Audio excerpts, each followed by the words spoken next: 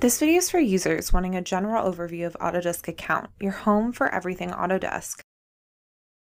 After signing in with your Autodesk ID and password, you'll see your Autodesk Account home, where you can access critical information like your recent product updates and a tour video of Autodesk Account.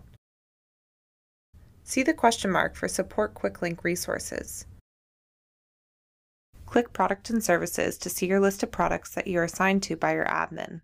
Click on a product to see a full summary. To download products, click the download icon. A subscription benefit is that you can access and download previous versions right here as well. Activate will tell you which way to activate your product, either with a serial number or by signing in. Updates and add-ons will give you insight into what benefits you have access to. Click Product Updates to see any of the updates you have access to. The most recent updates will be at the top of the section for quick and easy access, and you can check as many updates to download as you'd like. Read the description to see if you want to download or ignore the update. Trials allows you to access any products you might be testing.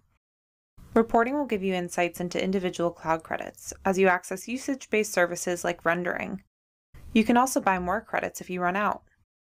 For more information, visit the Autodesk Knowledge Network at autodesk.com slash account get started user.